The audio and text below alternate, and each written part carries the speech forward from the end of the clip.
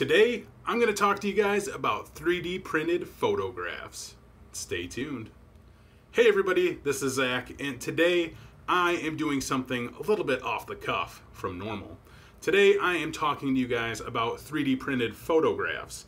And you may have seen maybe this 3D printer here in the background of some of my videos before, or maybe my other 3D printer in the background, or maybe the other 3D printer.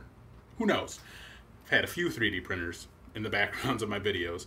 But anyway, recently I have been 3D printing photographs, and it is a blast. If you guys didn't know, aside from 3D printing, I do photography. So those are two very big hobbies of mine that I absolutely love to do. But the really exciting thing nowadays is that I can 3D print a photograph. So I am going to show you guys what a 3D printed photograph looks like. And I think you guys will be pretty amazed because I was absolutely blown away by this. So excuse the shaky camera because I'm using my cell phone to do this, the Google Pixel. Hope you guys watched that video. Anyway, uh, so check this out, and again, don't don't make fun of me for the shaky camera. I apologize. So right here, I have three 3D printed photographs. Uh, there's two of them, I believe, that are probably fairly easy to see, which are, are these two right here. If you look at this one right here, I, mean, I know what it is, but you guys could probably maybe tell what it is. It, it's a car. It's a race car. This is actually one of my dad's race cars uh, from back in the 60s or 70s when he used to race.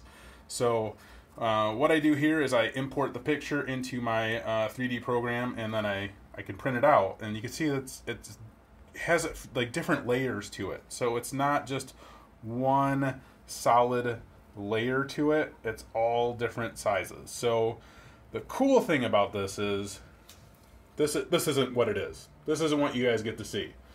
This is the cool part about this. When you put a light behind it, it literally sticks out and shows you everything about that photo. So again, if you kind of take it, you can't really see any detail at all when it's when there's no light behind it whatsoever. But as soon as you put a light behind it, everything just pops out and it's it's amazing. So here I'll take this other one. Here's another. This is my dad, and, and another one of his race cars right here. Again, it might be kind of hard to see. Again, this one's a little bit thinner, uh, but again, it has a few layers to it. And bam, put a light behind it, everything pops out. There's my dad right there holding the checkered flag. And it just, it's amazing. It's amazing that you can actually see all of the detail there when you put a light behind it. When you don't have a light behind it, it's really hard to kind of see what it is, but as soon as you throw a light behind it, it's there. Everything is there. It's absolutely amazing. So I'll take this last one. This is by far my favorite one. By far. And i will show you guys the before and afters uh, with all of these of the original pictures and everything. This one is a lot more detailed than the other ones, I would say. It has a lot more layers to it, a lot more ins and outs to everything here, and it's it's amazing. So as soon as I put a light behind it, there it is. There's there's me and uh, my two girls right there, and it's amazing. It's amazing the detail. And again, I'll I'll kind of do like a side by side right here so you guys can see the before and after of this, but it's amazing the detail that you could see just from a 3D printed photo. Again, there's what it was before, nothing. You you can't you can can't even tell what it is. And then put a light behind it and everything just pops.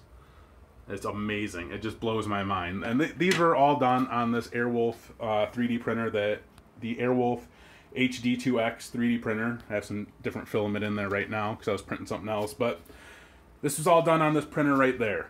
And it's amazing.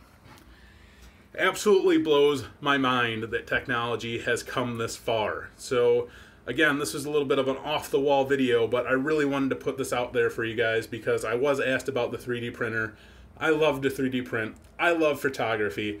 I love new technology, and I love what technology has done for this world, whether it be crazy stuff like this or 3D printing, you know, new body parts and things like that, it has come a long, long way. So on this channel, you guys will definitely find more and more videos just like this where I kind of introduce you guys to different and new technologies that are out there and stuff that I am doing with that, just like this right here. So I hope you guys enjoyed this video. If you guys have questions, let me know. Leave me a comment below. I'll be sure to get back to you as soon as I possibly can. And then, you know, stay tuned because I will do another video where I give kind of a more in-depth review on the Airwolf 3D printer and talk more about that and show you guys more things that I've 3D printed with this thing. But I just really wanted to put this out there because this has blown my mind. It has honestly, truly blown my mind. So hope you guys enjoyed it. Leave a comment. Be glad to hear from you guys. As always, take it easy.